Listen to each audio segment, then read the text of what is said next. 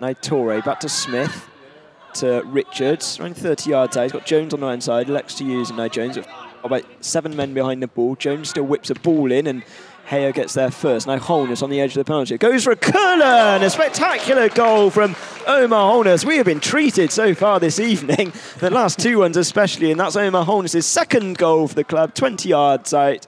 Left Lucas Smith clinging at thin air and he couldn't get across. Clevedon Town 1, Bath City 2. Yeah, he was just a few yards outside the air on his right foot and uh, yeah, curled that perfectly beyond the dive of the goalkeeper right into the, uh, the far corner. And uh, yeah, Bath City back in front again.